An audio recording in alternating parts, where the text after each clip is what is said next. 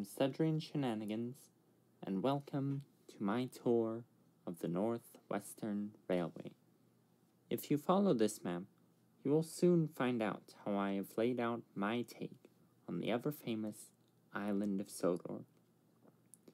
But before we can get to the Northwestern Railway that we all know and love, let us begin with the early days.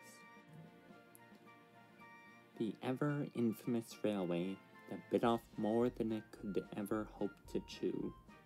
The Sodor and mainland starts our journey. We begin at the main terminus of the line, Kirk Ronan. Moving north, we arrive at Rolf's Castle, and soon after, Kelsthorpe Road. Following this, we arrive at a large interchange, which we'll get to in a moment. Moving just west, we arrive at the glorious Crovan's Gate, the terminus for the Skarloey Railway. The line splits in two here, with the southern line heading to Ballahoo. The northern line doesn't connect to anything, but these two rejoin near the infamous Ballahoo Ridge. The tunnel that the S&M had founded just never worked and collapsed several times during its construction. Returning to the interchange southwest of Crovan's Gate, if you move south on this, the line follows the old railroad plateway and connects to the wharf at Balladwale. Heading up this line, we meet up with the Skarloey at Crosney Curran, and the line terminates at Great Waterton, the largest city of Sodor, at the time at least. We'll cover its history in the modern era. And that's all for the Sodoran mainland, but it's far from the only railway of this time. Up next is the Wellsworth and Suddery Railway. There isn't much different from the official Awdry lore, but it is worth mentioning regardless. The first tracks relate at Crosby, heading eastward. Following this, we arrive at Wellsworth, with a monstrous hill just beyond. The line thusly deviates south towards the town of Suddery, with a small harbor near the settlement. Unfortunately, this harbor proved to be quite unsustainable, so the line continued, eventually terminating at the port city of Brendam. Coming next, the Tidmouth Knapford and Elsbridge Light Railway. This has a few differences, but like the W&S, it is mostly straightforward and consistent with Awdry lore. The line originates at Knapford with two options of travel. We'll take the main line, bringing us to Dryaw. The line continues to Toryreck, where it splits heading back to Dryaw, not quite making it. Moving along, it terminates at Elsbridge, next to the picturesque River Els. Heading back to Knapford, going north, we arrive at Tidmouth, the site of another quite problematic harbour. The line then extends to Hackenbeck, where it comes to an inexplicable stop in the hills. Ah, the ever picturesque Mid Sodor Railway. A lovely railway with big ambitions. It is exactly the same as Awdry's vision, but let's touch on it for completionist's sake. The line began at Arlesburgh West and climbed up to Ffarquhar Road. Here, the railway split south to a mine. Moving north, after another junction to a separate mine, the railway passed through Marthwaite and Arlesdale Green. Personally speaking, the latter station is where I place the sheds. A large mining network surrounds the town of Arlesdale as the line moves into the mountains. It passes yet another mine at Casney Hawen, spiraling through the many passes to Ulfstead Road. The line slowly descends from here, passing Balamadi before terminating at King Orry's Bridge and Peel Godred beyond. I have mixed opinions on the Culdee Mountain Railway, and as you can see when we eventually get to the modern era, it was not long for this world. The line was mostly funded as by the Mid-Sodor Railway Company exclusively as the tourist line. It was laid down at Kirk Machan during a period of expansion in the 1890s. Had things gone right, the MSR would have connected here as well. The railway slowly ascended to Shiloh, making its way around a high mountain lake and arriving at Skarloey Road. Here, in 1900, disaster would strike, as the number one, Godred, P toppled to his death, bringing the end of the railway and the MSR's grand plans. The line continued to a treacherous climb, aptly named Devil's Back, eventually arriving at the summit of Culdee Fell. Following Godred's accident and the continued absence of numbers 2 and 3, only number 4, Culdee, remained, alone in a shed for decades. But this was far from the only railway to suffer a great loss. Not much is known of the enigmatic Hawin Valley Railway, and not even its engines made any sense. Tracks were laid from Abbey in 1856, following a rather unusual week at the Standing Stones of Kildane, where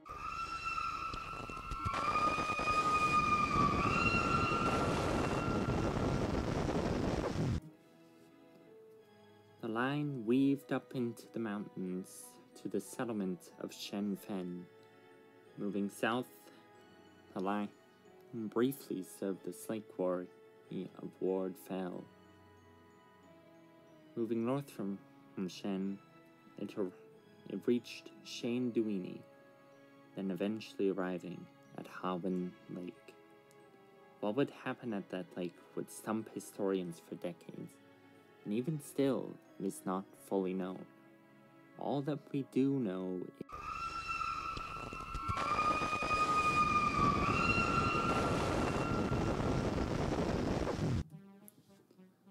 The Misty Island Logging Railroad was quite an oddball of a railway. It's an equal enigma, though it has no horrible history. Just confusing residents the line technically begins at the port of Brendam, shooting off into a long tunnel under the sea. On the Lentil Island, the railway truly begins at Lowy. It loops around the island, reaching Ren Ska, with a logging camp nearby. On the other side of the island, Madari Farke overlooks an inlet where the three engines, now four, reside. And that is all for the railways of yesteryear, but we have several to touch on in the more familiar days. Skipping forward a few decades, we have the North Western Railway. Established in 1915, the Northwestern Main Line begins at Tidmouth the engines sleep here when off duty. Moving south, the main line passes through Knapford Junction and into a large tunnel. Exiting this, the main line runs by Crosby up to Wellsworth, where the infamous Gordon's Hill awaits just beyond.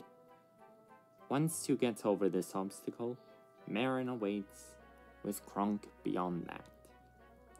Moving east, Kildane and its many industries stand at wait. The line is empty for a while, speeding through the Sudrian countryside until it eventually reaches S&M trackage with Kelsthorpe Road. the railway continues east towards the bustling Crovan's Gate, where engine facilities stand. Just beyond, the Norramby branch junction awaits, but the main line moves north. Reaching the Ballahoo Ridge and Henry's Tunnel, the railway finally reconnects with its branch and races along towards Vickerstown, where it terminates. Backtracking east, the Norramby branch line diverges at the Ballahoo Ridge, moving south. Here, it, re- it connects to Ballahoo, where it splits once more. Moving west reconnects the branch to the main line at Crovan's Gate. But going southeast, you arrive at yet another junction. Moving east from Ballahoo, you arrive at Norramby. Until 1970, this was run by engines of the LMS and eventually British Rail. But it is now home to several engines of the Northwestern. Going south, you arrive at some new developments.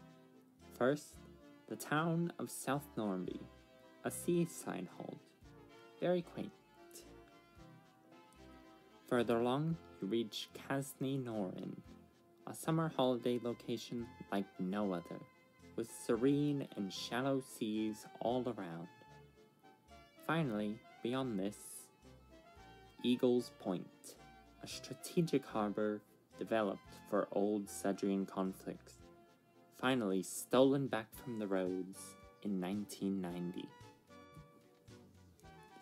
Built along the old railroad plateway and the S&M, the Great Waterton branch line is one of the newest to the island's network, but is still very important. Technically speaking, the line begins at Crovan's Gate, but its terminus is Ballardvale.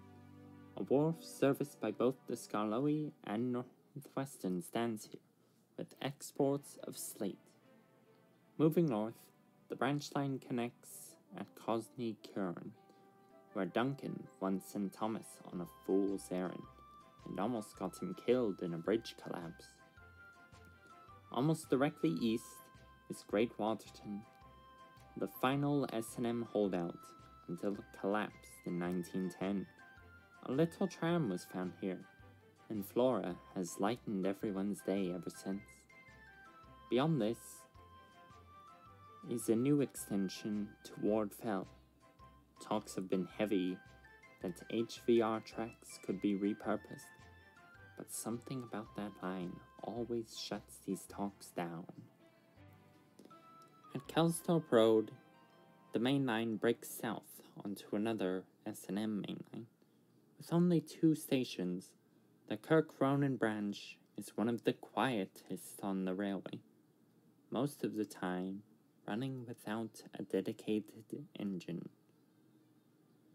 Heading along this branch, the middle station of Rolf's Castle stands imposing above the river and the railway. The line terminates at Kirk Ronan, a cozy little town with a thriving harbor industry.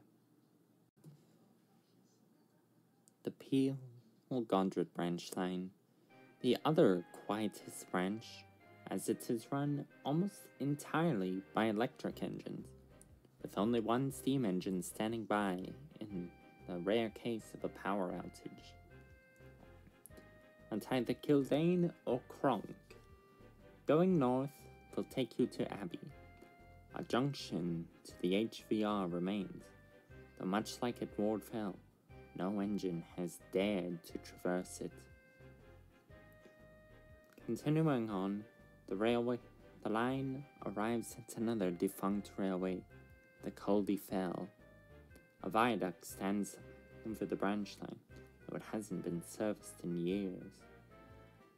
Tourists walk along the overgrown rack rails, but not a soul knows of the disaster that took place at the turn of the century. Crossing a river created by a mighty dam, the branch terminates at the walled city of Peel Godred. It tunnels underneath, the city to a mighty aluminium and iron works. One of the most popular branches, the Wellsworth branch, follows the old W&S to a T, without many differences. Starting at Wellsworth, it moves southeast to Sodor's capital city, Suddery. The W&S's Folly Harbor can be seen, though it hasn't been touched in a century. Moving further south, curving along the peninsula, the line terminates at Brendam, a bustling port. Ships from many places come, including shipments of logs from the nearby Misty Island. By far the most recognizable oh, branch line, the Ffarquhar needs no introduction. Services start at Tidmouth, but diverge from the main at Nappa Junction. It curves over the goods line to Dryaw, where a small airfield is serviced. The goods and main connect at Toryreck, though Thomas very rarely stops here. Moving northeast, you eventually arrive at Elsbridge, crossing the beautiful River Els. Up into the hills, there is the kindly halt, just before the tunnel to Hackenbeck, and beyond this town is Ffarquhar. Going further north will take you to the Anopha Quarry, but going east will take you to Ulfstead. We'll come back to this later.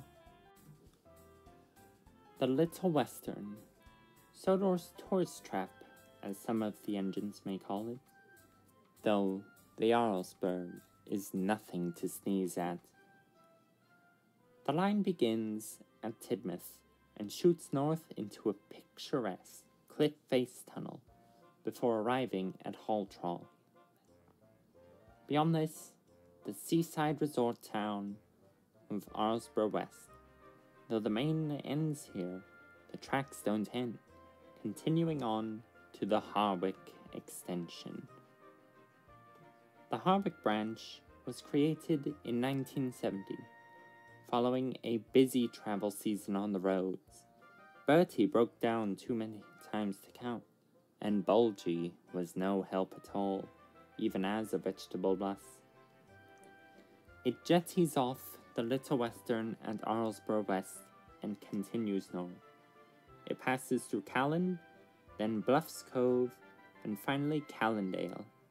Upon reaching Harwick, the line loops back on itself, returning to Arlesburgh West. Also beginning at Arlesburgh West, the Arlesdale Miniature Railway follows the Mid-Sodor trackbed. It races along through Arlesburgh Bridge Street and up to Ffarquhar Road, calling at the nearby ballast mine. Heading up to Marthwaite, it connects to another mine, though this one is almost dry. It continues to Arlesdale Green, past the MSR's sheds, before deviating to Where it terminates. Sodor's oldest railway, the Skarloey hardly needs an introduction. From the beauty and tranquility of the forest to the calming lakes and the busy quarries, the Skarloey has it all. It starts at Crovan's Gate in a large loop. Going southwest will take you to Balladwale, though usually only goods take this route. Following the loop northeast, you eventually arrive at Crosney Cairn. There's a junction here to an old quarry, but Rusty never likes to think about that day. The line scurries up to Glennock, where a tunnel waits before Venius. Duncan got stuck here once. Another loop awaits at this station. Going north takes you to Lakeside, and south goes to Skarloey.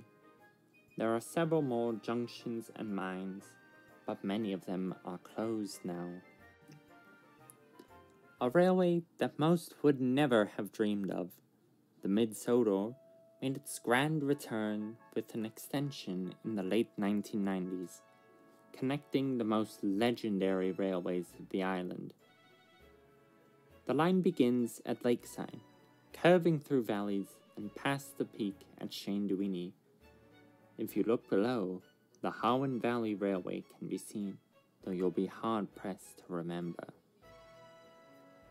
A long-time dream of the original Mid-Sodor was to connect to the Culdee Fell Railway, and though the latter folded a century ago, the new line passes Kirk Machan, dressed up as say what might have been.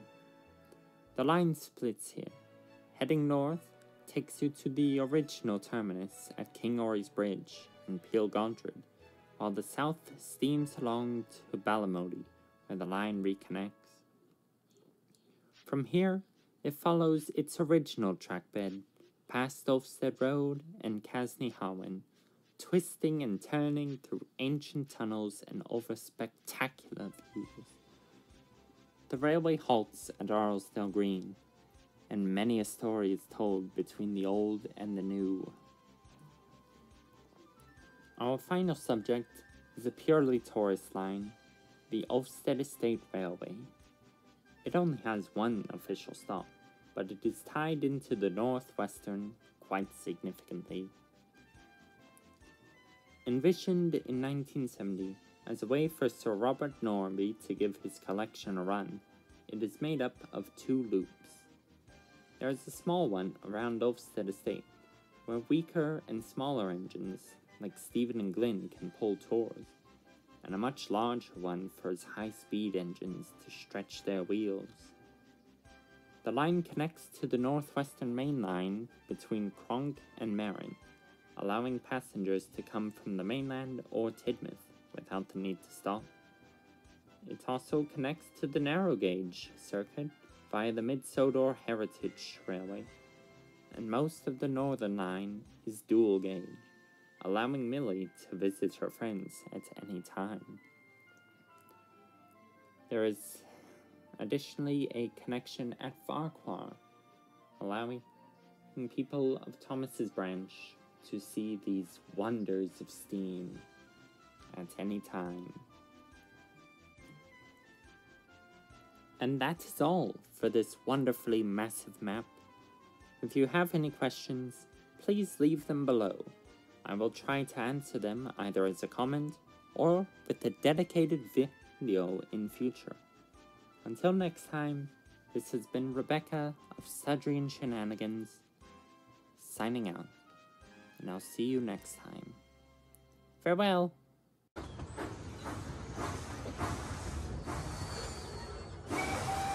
Hello everyone! If you liked this video, please feel free to like, comment, and subscribe. We really appreciate it, and we'll see you next time!